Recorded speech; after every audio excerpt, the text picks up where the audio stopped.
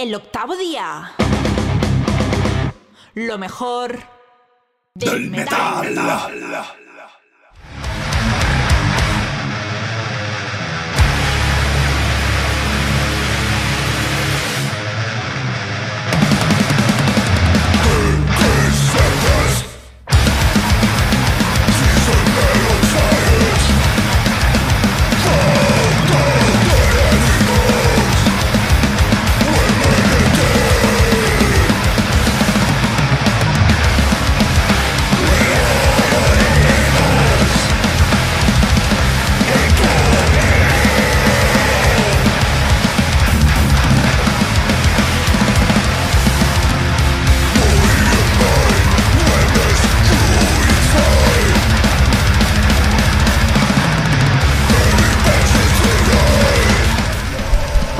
Escuchando Mesmerize, single adelanto de lo que será el nuevo trabajo de Handle with Hate. A quienes, aquellos que nos estáis viendo tanto en YouTube como en Twitch, pues ya estáis viendo en vuestras pantallas, porque tenemos aparte de Handle with Hate aquí con nosotros. Eh, empezamos, eh, el que tengo aquí, el primero que veo es a Xavi, bajista. Tenemos también a Polo, guitarra, y a Sergi, cantante. Regius para la familia. Regius para la familia, que por, en Twitch ya te estaban diciendo hola, sí, ¿qué ya tal? veo, ya veo que está por ahí David. Pues nada, chicos, muchas gracias por venir aquí al octavo día. Y, A vosotros por invitarnos.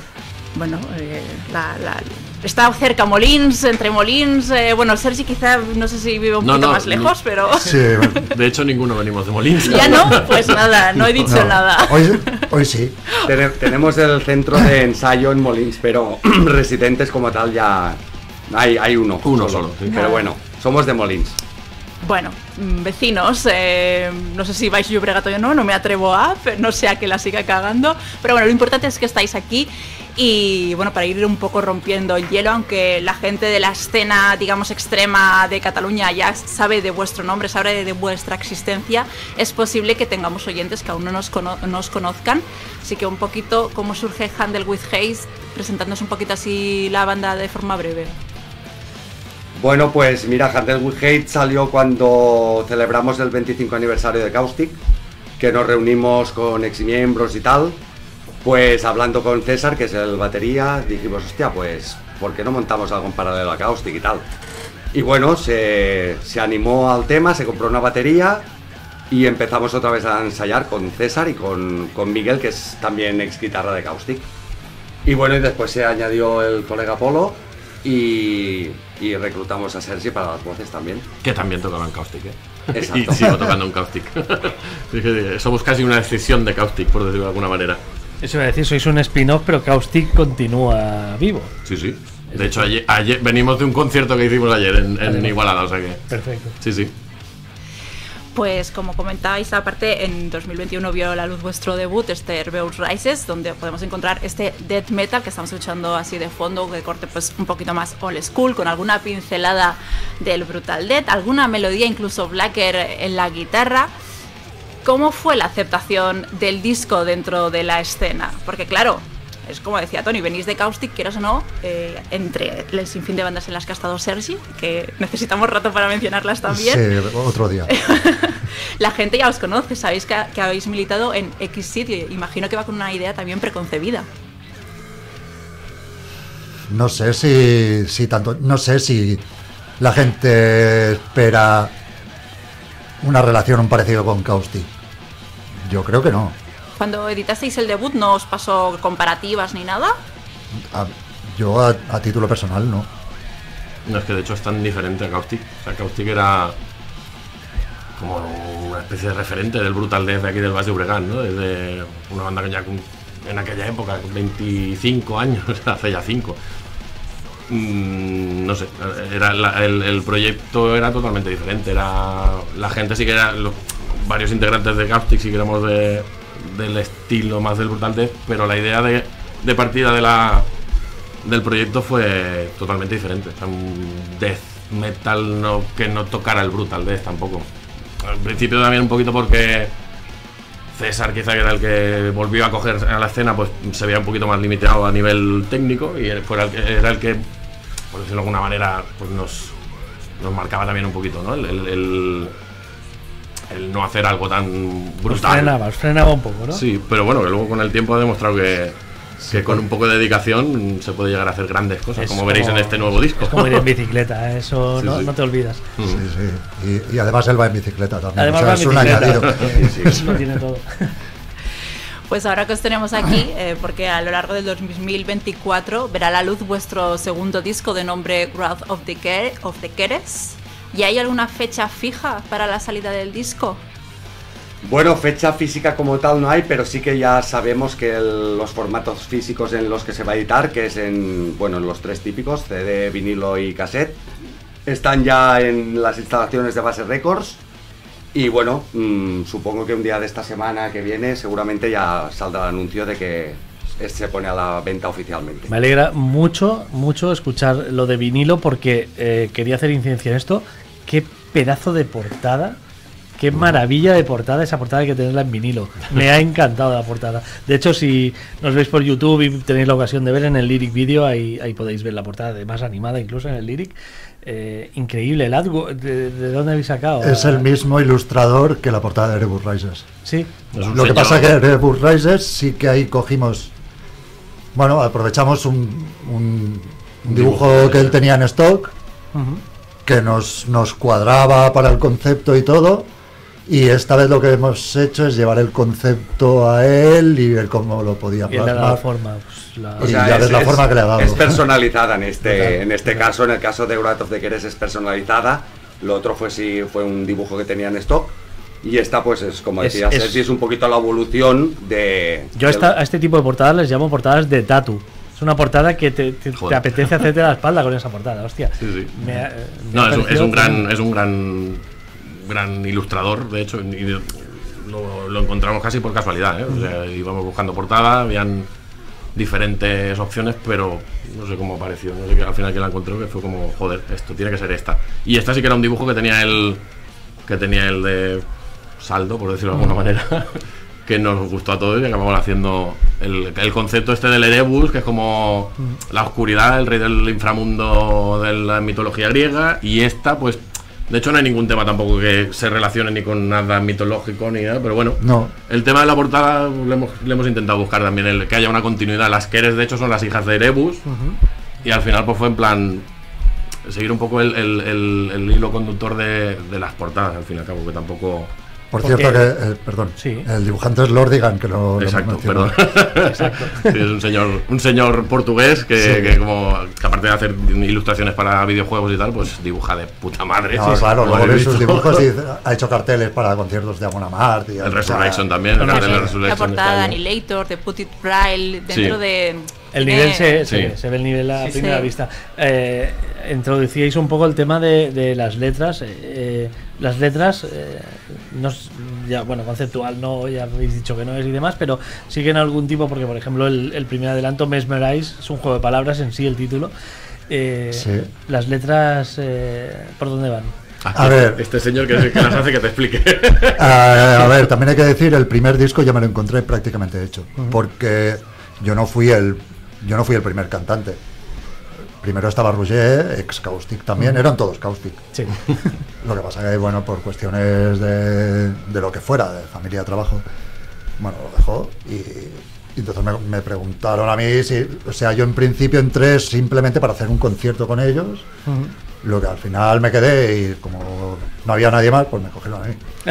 Sí, por eso sí. pillando cariño. por Y entonces, claro, la, de hecho, del primer disco, ex- excepto, hay un tema que es de Miguel, del, del otro guitarrista, la letra, luego hay dos de Xavi y el resto, menos una, son todas de Roger. El tema es un poco... Es más crítica social, digamos, no a lo punky, ya me entendéis, siempre Correcto, con, sí, la sí. metáfora que siempre en el death metal nos gusta Sí, hacer las cosas un poco oscuras y tal. Entonces, pues yo he seguido un poco la misma línea, pero con mi cerebro que también va donde quiere un poco. Correcto. Bueno, ya el- el- la banda misma, Handle with Hate, ya te, te tira ¿no? un poco hacia, hacia, Sí. eso- hacia, hacia esa temática. Eh, muy interesante. Y perdona, Xenia, que estoy yo aquí cogiendo micro a saco, pero es que No te preocupes. son temas que me interesan y supongo que también nos interesarán a los que nos estáis viendo.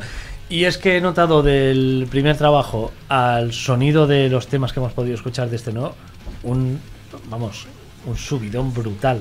El, el sonido de, de- de este, de este nuevo trabajo me parece que es, que es extraordinario. Claro, luego sabiendo dónde habéis ido a grabar y quién os ha masterizado, evidentemente va a sonar bien, pero eh, si bien es cierto que el primer disco sonaba muy bien, Sí. y es un estilo que, que- que merece sonar bien para apreciar todos los detalles y, y demás. Y tú lo sabes mejor que nadie porque el bajista es el que más lo sufre cuando no suena bien un disco. Eh, creo que en este habéis conseguido subir un peldaño de excelencia porque el disco suena, vamos, por lo menos lo que hemos podido escuchar en, en redes, que el día que tengamos el vinilo rodando, eh, creo que va a ser un escándalo. Eh, muy contentos, imagino, con la mezcla final, ¿no? Por supuesto, por supuesto. Ha costado, ha sido un trabajo duro, le hemos tenido que dar muchas vueltas, pero al final el resultado, vaya, todos estamos de acuerdo en que es- para nosotros es excelente y compartimos lo que comentas de, de una subida de peldaño, incluso me atrevería a decir que un par. Sí, puede ser. Y bueno, yo creo que también en, en parte es que las composiciones son mucho más agresivas, mucho más cañeras, mm, quizás más variadas. Y eso con una mejor producción pues ha ayudado que, que haya esta sensación de, de- de evolución, ¿no? Creo yo que se puede decir. Eh, no lo he dicho, pero es en los Axe Studios que habéis grabado. Sí, Sí, señor. Eh, Sí. Mr. Axe es. Ya sabemos, Es un ya, sabemos quién es, ya sabemos quién es de sobra y todo lo que ha grabado y todo lo que ha hecho. Eh, la verdad es que tenemos unos, unos ingenieros de sonido espectaculares aquí, porque tenemos a Javi Félez en los Moon Tower, tenemos a Axe, tenemos gente que hace sonar los discos, eh, vamos, de, tremendos. Y, y bueno, el vuestro desde luego es para enseñarlo. ¿eh? Aparte, lo que comentabas de la masterización, en este caso habéis ido ha hablado con Dan Suano, que entiendo que hay un motivo detrás para escoger tanto a Oscar de Axe Studio como a Dan Suano. No sé A si ver, sí, buscabais claro. algo en concreto. Con Oscar ya habíamos trabajado en Caustic y a ver, es un, es un referente dentro de, de lo que es estudio de grabación a nivel de metal extremo, igual que el, que el Javi Félez. Pero bueno, nosotros por comodidad y por, por confianza y porque ya lo conocíamos, pues decidimos ir con Axe. El siguiente paso que fue la masterización, pues bueno, eh, el Oscar también nos dijo, oye, mm, Dance Guano para el estilo que hacéis y tal, puede ser muy interesante. Y realmente fue una cosa muy sorprendente porque le mandamos, le mandamos los tracks, nos dijo que no hacía falta, mm, que la mezcla estaba perfecta. Sí, en un cuarto de hora ya nos había enviado el tío la Sí. Y, masterización. y o sea, muy rápidamente nos, nos mandó ya un ejemplo que dijimos, Buah, esto, el, el- Esto el peta". empujón que le faltaba de salida de estudio, realmente lo ha conseguido y ha conseguido unos graves brutales sin que ensucie. Sí. O sea, realmente mm, a nivel de máster ha hecho un gran trabajo. A ver, el gran trabajo creo que lo ha hecho Oscar, pero bueno, él ha puesto la, la guinda del pastel, ¿no? Digamos. A ver, el, el gran trabajo lo hemos hecho nosotros. Bueno. O sea, partiendo con las, con las composiciones, que sí que es verdad que lo que decía antes, lo que comentaba también que. Digo César porque fue de hecho el que llevaba 25 años como el que dice fuera de la música. O sea, el hecho de que no participara con nosotros en el concierto de Caustic y tal en, hace, hace en el 2017, creo que fue, ser. que fue cuando fue el germen de todo, de, de todo Handel se veía limitado en cierta manera y ahora en estos años, en el, en el impasse de, de un disco al otro, de Erebus a este, pues había, sobre todo de César, había una, una evolución brutal. Y eso nos ha llevado también pues a, a nosotros también ponernos barreras más, más lejanas también, a ir haciendo, pues, a, a ir autoexigiéndonos a todos. O sea, ya no, nos, ya no es solo que, que Axe graba muy bien, evidentemente. También el disco anterior lo grabamos con Chevy Alegre en, en, en el en Temple Studios, que era el guitarra de, De Human Astray. Gran amigo del grupo también y, salimos súper contentos de allí también. Pero bueno, todo ha llevado a, pues eso, el- el- el- la evolución de los temas, la evolución de las composiciones, el, intentar buscar a un referente del death metal de aquí del- de la zona, el intentar, mm, como decía Xavi, no subir un escalón, sino subir dos. O sea, si, si pudiéramos hacerlo y creíamos que, que con el material que estábamos haciendo ahora podíamos, podíamos lograrlo. Y yo me atrevo a decir que creo que lo hemos logrado. Pero bueno, por lo menos contentos estamos. Por lo que hemos podido escuchar hasta el momento, eh, desde luego. Ujú. Falta que escuchamos el disco entero y nosotros todavía no hemos podido acceder. Claro que ahí va ahora. ¿Qué, qué vamos a encontrar de distinto en en este nuevo disco? Que ya más o menos lo estás introduciendo a nivel de sonido, y nos lo habéis explicado, pero entiendo que el trabajo que habéis hecho vosotros detrás es como lo Pues sí, esencial. sí. No, no, y además han sido como dos años de, de ensayo tras ensayo y de composiciones y de prueba y error y de meses montando y desmontando los temas. O sea que, que ha sido un trabajo de, de local. Todo y que somos un grupo muy de. de- que también es, es lo que permiten ahora las nuevas tecnologías. Todos trabajamos un poquito por separado en casa. eh, montamos los temas en casa, pero luego se ponen en común en.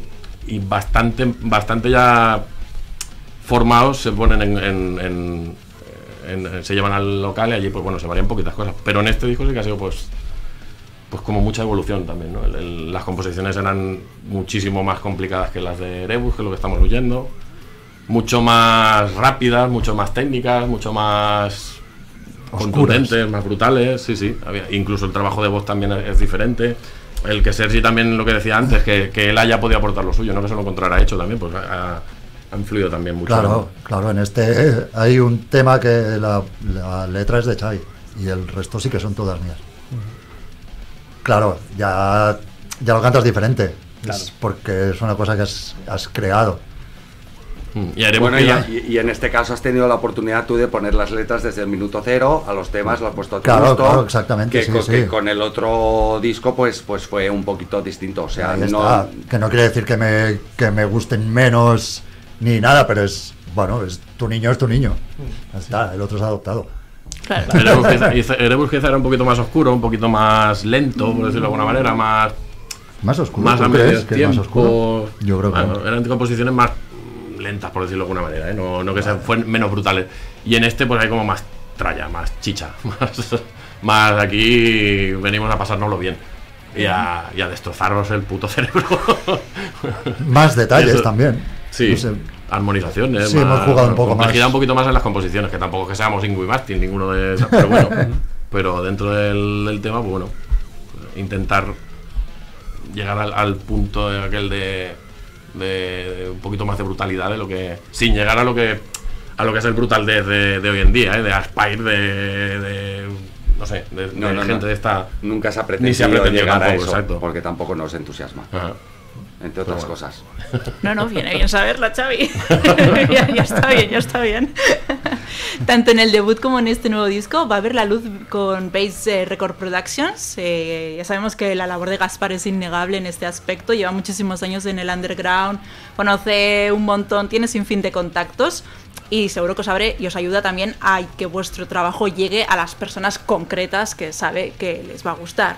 Entonces, no sé si tenéis en mente, pregunto, ¿eh? Eh, si Gaspar se encarga de la producción, ¿creéis que para lo- el objetivo de Handle with Hate es suficiente o también vais a mirar de contratar eh, agentes externos como puede ser promoción o, no sé, sobre todo promoción para llegar a un público más amplio?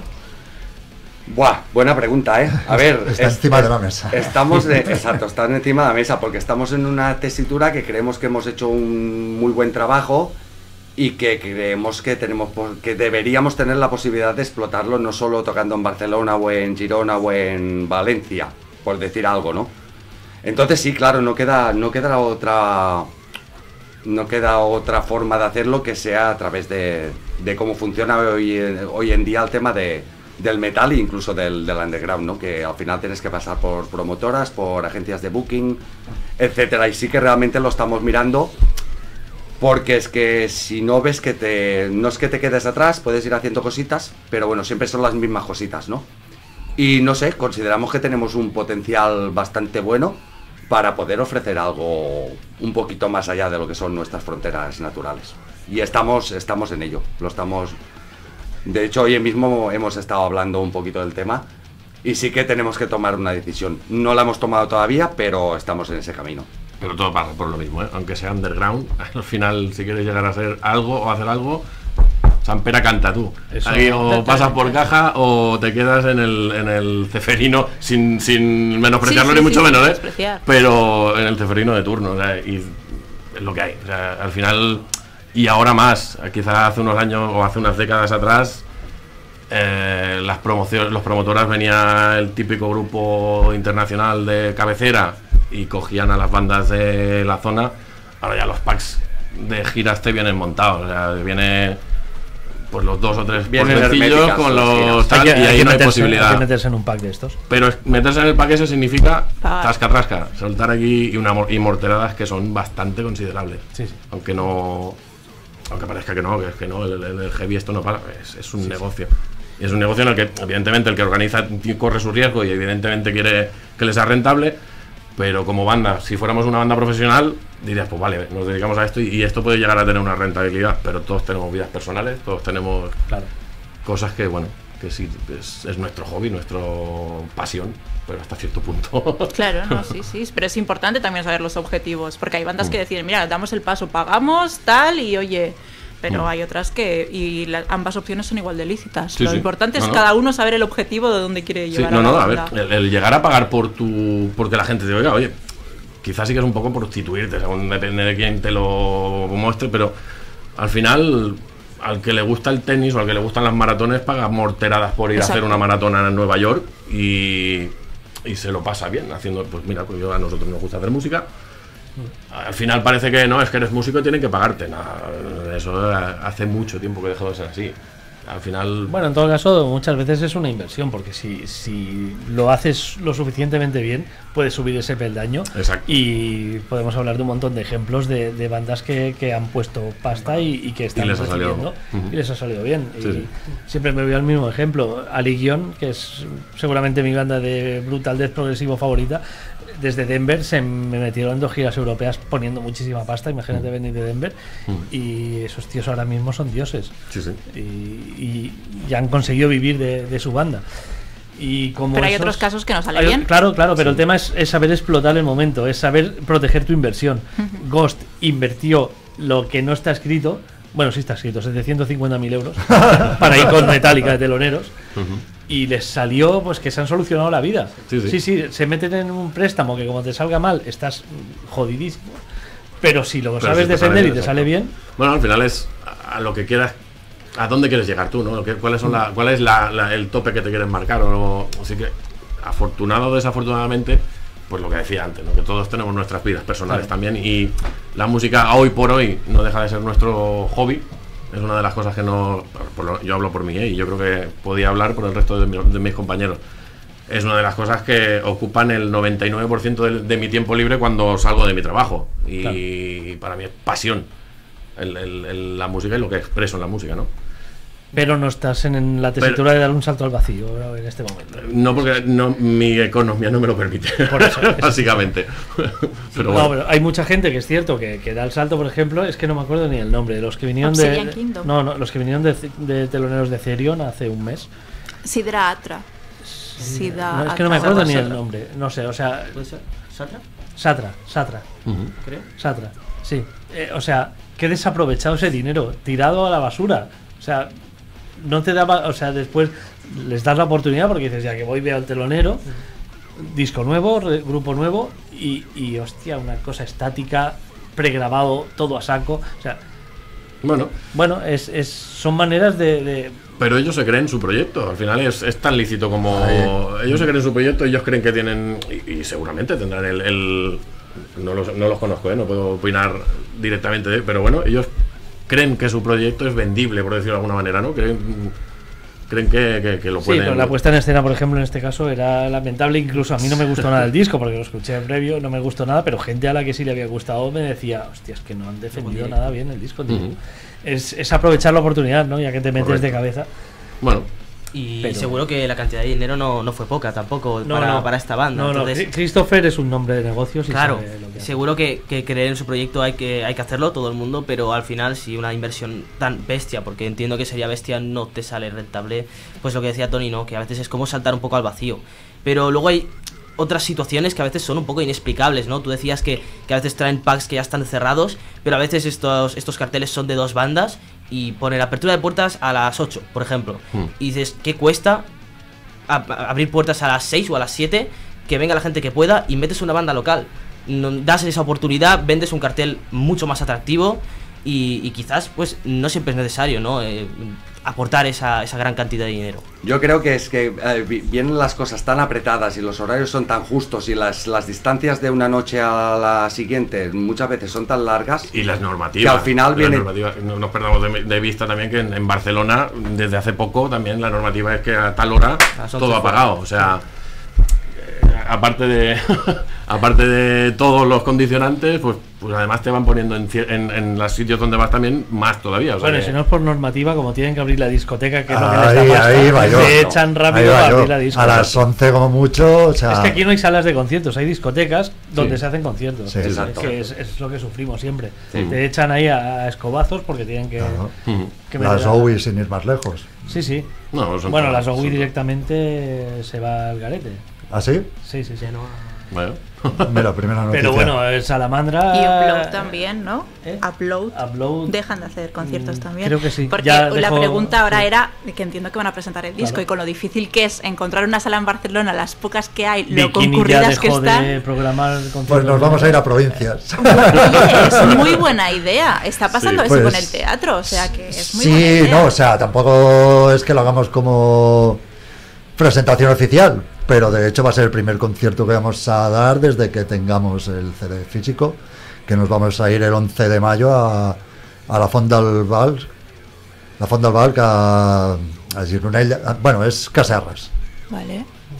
Ah, pero Gironella ya tenemos allí. Tenemos casi casa. Después de la Sí, de atrás. Sí, es una, es una cosa de la montar la gente, Claro, de la, la gente de la. Fantástico. Muy bien. ¿Fuiste tú que estuviste? eh? Sí, sí, sí.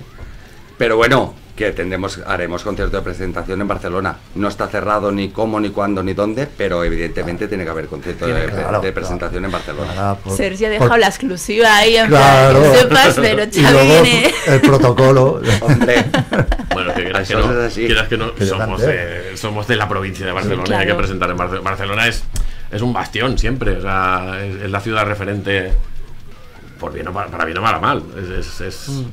Pues eso, es la ciudad que se tiene de referencia siempre a, a todos los niveles, ya no solo a nivel musical.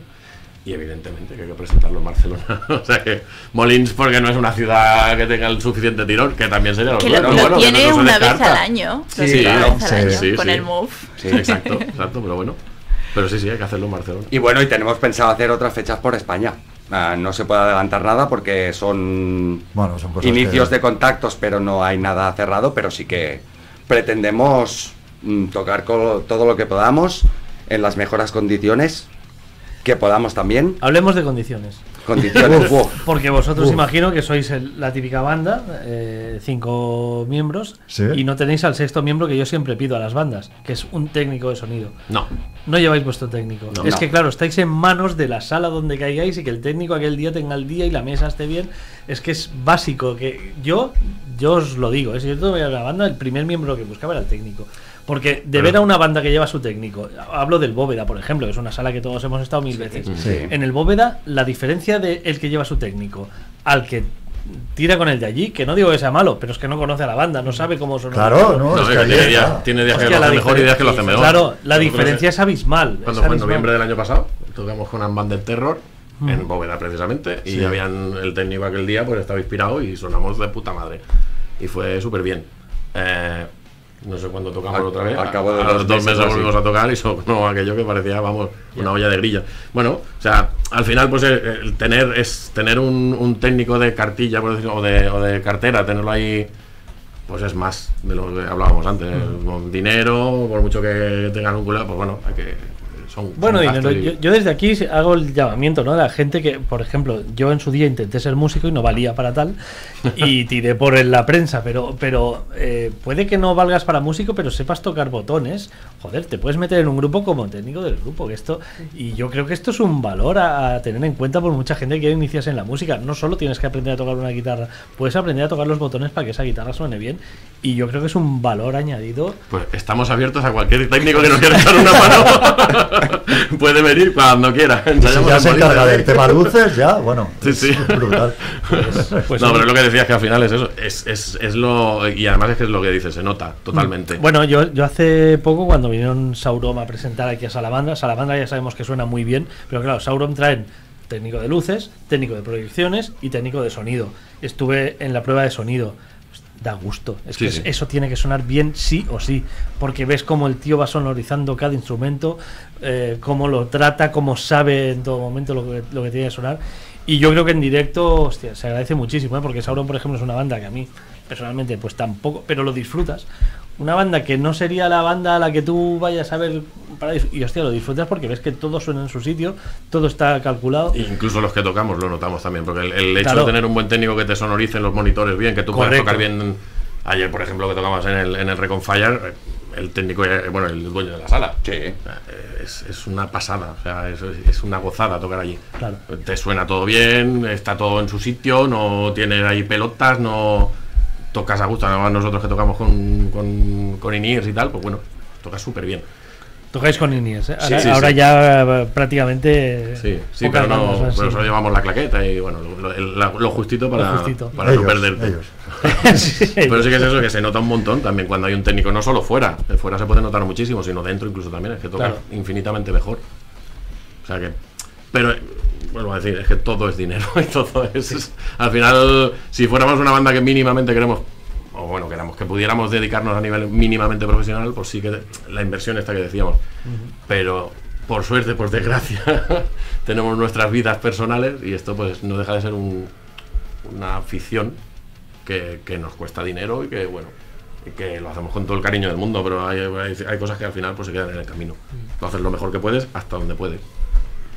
Mira, Jero, desde Twitch, que aparte os ha visto en el Push Metal, en el Caña, estuvo en el concierto de Unbounded, en Bóveda y demás, pregunta que si nunca os ha llegado una oferta para tocar fuera, en algún festival fuera de nuestro país.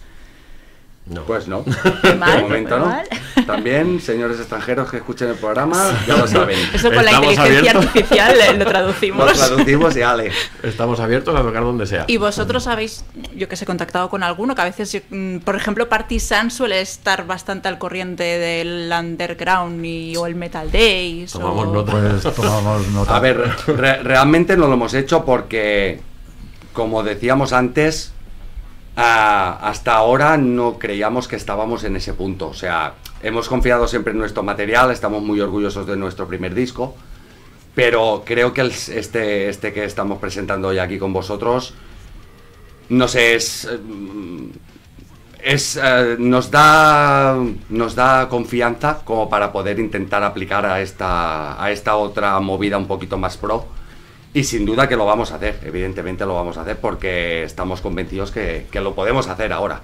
Igual en otros momentos pues no tienes esa convicción y no lo ves tan claro. Entonces para quemar un cartucho y que, que acabe en nada, pues a veces y quizás es más inteligente esperar y decir pues ahora es el momento. Y vaya, yo creo, creo que estamos de acuerdo Totalmente. con el resto, que ahora sí que estamos en ese punto para poder ir a repartir leña por ahí. Pues teniendo esto en mente, viendo que esta semana habrá noticias en vuestras redes eh, respecto a la salida del disco, conciertos, aunque alguna cosa por ahí suena y demás, no sé si queréis añadir alguna cosa más a nivel de, oye, es importante que estéis tal día atentos o alguna cosa para que estemos a la white, como se dice. no sabemos fecha exacta pero bueno No, estar no. atentos que en breve en breve cuando a Gaspar nos diga ya pues- Exacto. Va a pues salir ya. todos los formatos y todo el merchandising y Y con cassette, cosa que Claro, sorprende. ¿o- claro, o- claro. Yo quiero vinilo y camiseta, ya me podéis ir guardando. Muy bien. Sea la fecha que sea. Y- No será pronto, seguramente entre esta semana y la que viene ya, Sí. ya lo tendremos todo. Y sobre, sobre tema single y, y redes sociales un poco, no sé si tenéis pensado todavía sacar algún otro adelanto o bueno, más adelante, una vez ya ha salido el disco, otro, otro vídeo, porque yo sobre todo, y, y, bueno, os doy un poco mi opinión como, como oyente de metal, pero no tanto dentro del death y menos de- del brutal, pero mi primera toma de contacto con vosotros fue con Mesmerize, con la canción, con la primera canción que ha sonado, y sin duda para mí fue una canción que, que impacta, de esas que que con una buena producción, como, co- como comentaba Tony, te invita a decir, bueno, quiero escuchar todo el disco para poder opinar. Una, una música que, pese a no ser yo tan experto en esta, eh, me, me estaba ya agradando. Mira, y gallina de piel oye que nos digan esto bueno, eh, evidentemente también para la audiencia, para que tengan una opinión de, de alguien que, que no está tan habituado a este, a este estilo, pero me buenas. causó buena impresión y, y sin duda la palabra que me venía más a la mente era profesionalidad, sobre todo pues por eso, por la producción, por, por la portada, como también había dicho Tony, por el pedazo de Bueno, lyric video que, que está Y es hecho. que el lyric video es una. Es que no tiene nada que envidiarle a otros como, como los de Powerwolf, que, que suelen curarse bastante. No tienen nada que envidiar, están a ese mismo nivel. Por eso os preguntaba, no sé si tenéis pensado más adelante sacar alguno otro. A ver, sí, que tenemos, pensado hacer un videoclip. Pero un ya no videoclip lyric. al uso, pero bueno, pero tenemos que encontrar localizaciones, un buen momento para hacerlo, pero sí que seguramente, prácticamente al 100%, que habrá un, un videoclip. Que ya, o sea, el disco ya estará no rolando, nos- pero haremos un No nos vais a decir qué canción. No. Es que no lo sabemos. Ah, vale. No, no lo está, sabemos, está- ¿eh? está prácticamente decidido, pero Sí. no- no es uno de los temas que tenéis. Sí. Ya, por eso, nos podéis decir el nombre si cuando nos llegue No. el disco estará la white de. Sí, Como detalle será algo más macabro, quizá. Es, es- Toma es- nota. es bastante. sí. Vale, la macabra. Es bastante actual, es un tema bastante actual, de hecho. Es Sí. un tema que trata de algo bastante actual. Sí, bueno, de hecho la mayoría. Pero bueno.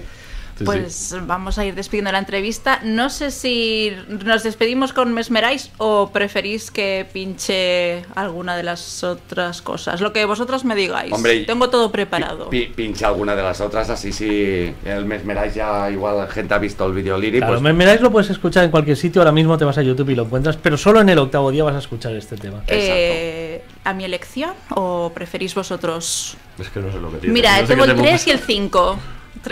Mira, tengo eh, Call Black Your Demons o Encefalopatos. Encefalopato. Encefalopatos. encefalopatos. Es esperma de pato. Venga, va, con este título tiene que ser, claro que sí. Pues nada, muchas gracias por estar aquí en, en el octavo día. Eh, Handle with Hate, estaremos atentos a vuestras redes sociales, que son arroba handle with hate, ¿verdad? Ujú. Y que eso es importante saberlo. Y nada, y con ganas de escuchar el disco completo y veros en directo también, porque en directo, las veces que yo os he visto, el caña, la, la que menos os vi, pero la que también os escuché más, eh, es- ofrecéis una muy buena puesta en escena. Gracias. Pues Gracias muchas a vosotros. Y gracias por, por, bueno, por la oportunidad y, y hoy un placer compartir este rato con vosotros y con todo el mundo que lo esté escuchando. Igualmente, pues gracias Handel with Hate, nos quedamos con encefalopatos.